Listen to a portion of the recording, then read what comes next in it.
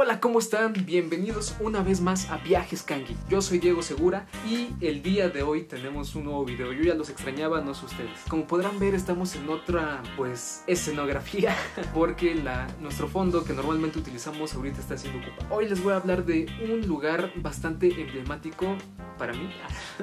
Pero antes les comento, miren, yo de niño no entendía la historia, incluso hasta la actualidad sigo sin tener bien establecidos ese hilo en el que se fue desarrollando pues nuestro pasado. Sin embargo, con el paso del tiempo he logrado comprender que la historia está plagada de interpretaciones. Normalmente se dice o se sabe que la historia es del vencedor. Es decir, por ejemplo, todas las civilizaciones que ahorita conocemos seguramente pasaron a la historia después de haber desplazado o aniquilado algunas otras civilizaciones. En este sentido, nosotros podemos tener la versión del vencedor, la versión del vencido, y quizá pueda haber una versión de alguna persona que estuvo afuera de todo ese acontecimiento histórico y puede tener otra interpretación. Eso lo que hace es que nos podamos formular un contexto del pasado más circular y no estar así cerrados creyendo en solo una interpretación. Lo que les quiero dar a entender es que hoy les voy a contar la interpretación que tengo yo acerca de este municipio tan querido para mí que es Ecatepec de Morelos. Entonces, sin más preámbulos, comenzamos. Para todos aquellos que estaban esperando un video más para suscribirse, esta es la oportunidad. En la parte inferior izquierda, me parece que de este lado, debe de haber un botoncito donde ustedes le pican y ya se pueden suscribir de manera automática. Si gustan hacerlo, adelante, yo aquí los espero. Pues bueno, ya me cansé de esperar. Ecatepec viene de dos vocablos náhuatl. El primero es Ejecat, que significa viento o aire, y el segundo es Tepec, que significa cerro. Entonces, si los juntamos, literalmente se podría significar el cerro del viento o del aire.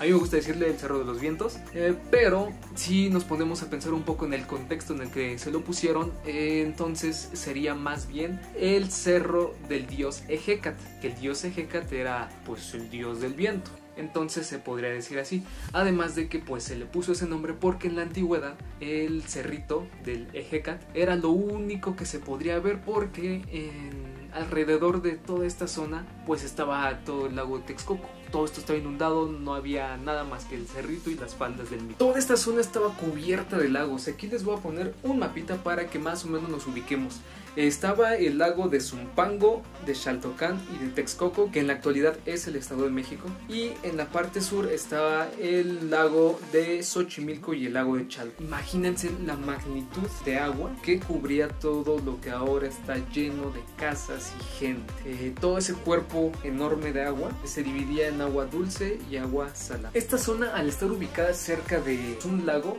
varios pueblos de ese tiempo pues se peleaban por él. Hagan de cuenta que las personas que se fueron asentando aquí fue por etapas, no, no todos estuvieron juntos en un inicio, posteriormente sí, pero pues ya los descendientes de, de cada uno de los pueblos.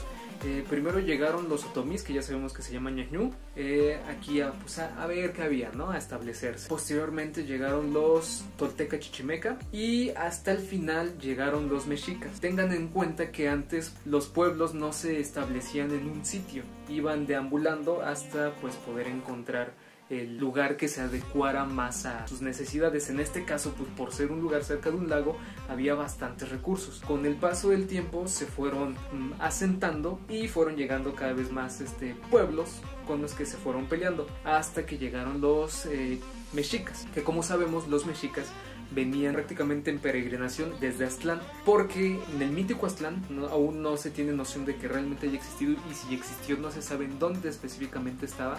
Eh, los aztecas los trataban muy mal, los tenían pues prácticamente como esclavos, ¿no? Entonces ellos decidieron escapar de allí, separándose y tomaron el nombre de su dios, Meshi, o en la actualidad más conocido como Huitzilopochtli, que fue quien les prometió un lugar específico donde ellos iban a encontrar una señal, que es el águila parada sobre el nopal devorando una serpiente. Pero bueno, eso ya será tema de otra ocasión. Entonces venían caminando, caminaron, caminaron, caminaron y eh, pasaron justamente por Ecatepec para poder llegar posteriormente a el pueblo que fundaron que es Mexico Tenochtitlan. Pero bueno, entonces regresamos un poquito a quienes estaban estableciendo los primeros pueblos que llegaron aquí, eh, pues sí, había bastantes recursos, pero lo que les fallaba a ellos era la higiene y la sanidad. Esto provocaba que hubiera bastantes decesos. Y para evitar que hubiera esos decesos, pues lo que hacía era ofrendarles eh, personas a su dios de la muerte. Se sabe que los sacrificios se hacen desde los Olmecas, que es la primera civilización registrada aquí en nuestro país. Esto se puede aseverar porque en el cerro del Ejecat se encontraron varias tumbas donde había mm, pues prácticamente ocho cuerpos de niños o jóvenes que fueron quemados y posteriormente ingeridos pues sí, había canibalismo, ¿no? No se debe de esconder esa realidad de nuestro país. Esto se hacía con la única finalidad de apaciguar a la muerte. O sea, no era nada más asesinar por asesinar. Según su cosmología en ese tiempo, era lo que se tenía que realizar para que ya no estuvieran muriendo. Era la forma en que ellos veían una respuesta o una solución a un problema. Entonces tampoco hay que satanizarlos todo se debe de ver desde la perspectiva en que se desarrolla cada acontecimiento. No es lo mismo lo que estamos viviendo en la actualidad a lo que se vivía en la independencia. Son bastantes valores y bastantes conceptos de la vida totalmente distintos. No debemos de juzgar. Ecatepec gozaba de una ubicación chulada o chulada de ubicación. ¿Por qué? Porque se encontraba en la entrada del Valle de México. Ya con el paso del tiempo, después de establecerse y, después de a lo mejor hacer algunas eh, uniones con otros pueblos, pues ya se creaba en el tiempo prehispánico esas rutas de comercialización donde pues Ecatepec era la entrada para la llegada hasta Tenochtitlan. Se desarrolló la agricultura y la pesca, actividades que eran necesarias para hacer que los pueblos se asentaran en un solo sitio. Muy bien, espero todo vaya bien hasta aquí. En Ecatepec había tlatuanis. Prácticamente era la descendencia de los Huey tlatuanis de México Tenochtitlan. Entonces ahorita les voy a mencionar los tlatuanis que hubo en Ecatepec. El primer tlatuani de Ecatepec fue Chimalpili I. Era nieto de Moctezuma y Wilcamina. Este a su vez fue el quinto Huey tlatuani de México Tenochtitlan. Con esto quiero que ya entendamos un poquito en tiempo. Después de que ya se creó prácticamente México Tenochtitlán por los mexicas, que fue la última civilización en nuestro país antes de la conquista. Se tuvo que ir expandiendo. Tenían varios lugares donde también gobernaban. Ecatepec era uno de ellos donde mandaban a sus eh, descendencia para pues mantener un orden ahí. La palabra Tlatuani era ocupada para los gobernantes de la Triple Alianza. Huey como tal significa gran y Tlatuani pues es como gobernante, entonces pues es el gran gobernante. El segundo Tlatuani era Tezosomoc, hijo de Chimalpopoca, que fue el tercer Tlatuani de México Tenochtitlan. El tercero fue Chimalpili II, hijo de Ahuizotl, quien fue el octavo Huaytlatuani. El cuarto Tlatuanit se llamaba Diego Alvarado Huanitzin. Este era hijo de Tezosomoc y ya en ese tiempo pues él fue evangelizado y seguía las órdenes del virrey Antonio de Mendoza. Posteriormente siguieron gobernando los mexicas porque por orden de Hernán Cortés se le dio ese respeto al linaje de Moctezuma Xocoyotzin, que fue Moctezuma II. En este sentido, la siguiente persona ya no fue Tlatuani, pero fue gobernante de todo Ecatepec y su nombre era Leonor Moctezuma. Y bueno, ahorita les voy a estar comentando de algunos atractivos que tiene San Cristóbal de Ecatepec. Empezaremos con el Albarradón de Ecatepec. Este antes se llamaba Albarradón de Nezahualcóyotl. Fue mandado a construir en el siglo XV por Moctezuma Ilhuilcamina con la finalidad de separar el lago de Zumpango y Xaltocán con el lago de Texcoco. ¿Por qué? Porque el lago de Zumpangue y el lago de Xaltocán eran de agua dulce y el lago de Texcoco de agua salada. Además sabemos que Tenochtitlan estaba situado en el lago de Texcoco. Servía como tal para evitar que se inundara la ciudad y como filtro para que el agua que rodeaba la misma ciudad no fuera tan salada. Cuando llegó Hernán Cortés, lo tiró, provocando uno de los mayores ecocidios de la historia. En la actualidad lo podemos ver pues prácticamente en la antigua carretera México-Pachuca. También tenemos la Casa de Morelos. Esta fue construida en 1747, fue mandada a hacer por el virrey Francisco Güemes y Orca.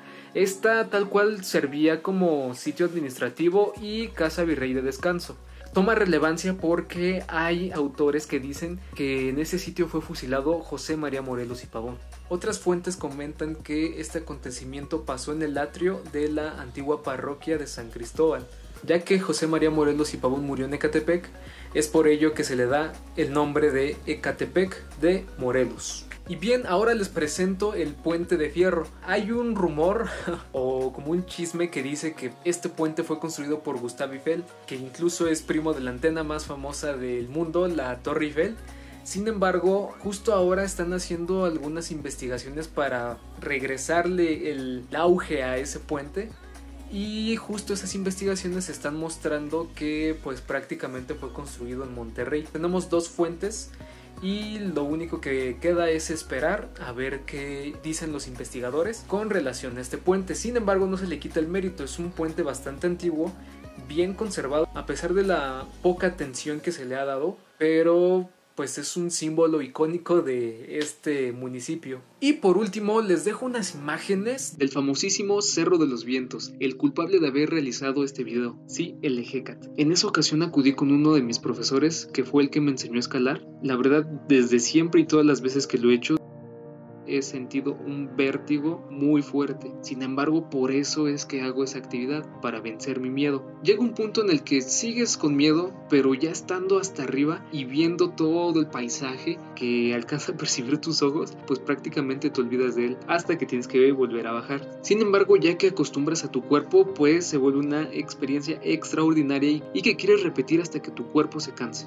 En lo personal a mí me encanta hacer senderismo porque pues es prácticamente como proponerte una meta, llegar hacia un punto en específico y hacer de todo para cumplirlo. Además en el trayecto tu sentido percibe tantas cosas nuevas que tú no te imaginabas y sobre todo esa interacción con la naturaleza es lo más valioso que la verdad he llegado a conocer. Prácticamente eso es lo que yo llamo el color de la andar.